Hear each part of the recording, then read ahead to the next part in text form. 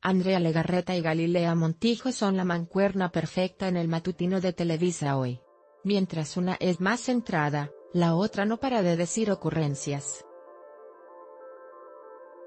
Galilea Montijo se caracteriza por ser la más graciosa y Legarreta por actuar con mesura, sin embargo, este lunes quedó claro que cuando de sensualidad se trata, la esposa de Eric Rubin es la ganadora. No cabe duda de que ambas mujeres son muy bellas pero Andrea Legarreta salió echando tiros esta mañana a lucir una diminuta prenda negra que dejó al descubierto sus torneadas piernas.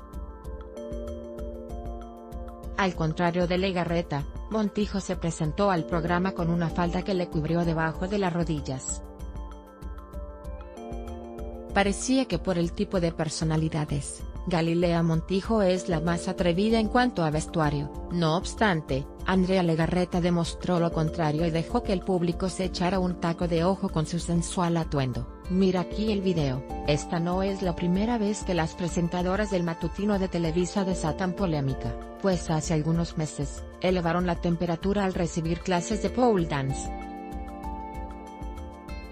En un programa de hoy, las conductoras demostraron sus habilidades en el tubo, con las indicaciones de una experta, Andrea Legarreta y Galilea Montijo dejaron sin palabras a los espectadores. En aquella ocasión, Andrea Legarreta nuevamente opacó a su compañera, pues logró realizar con mayor facilidad todas las instrucciones de la maestra. ¿Quién te parece más sensual? ¿Andrea Legarreta o Galilea Montijo? Fuentes, Instagram anímate a comentar. Queremos saber tu opinión. Comentarios Power Eva y Facebook Comments.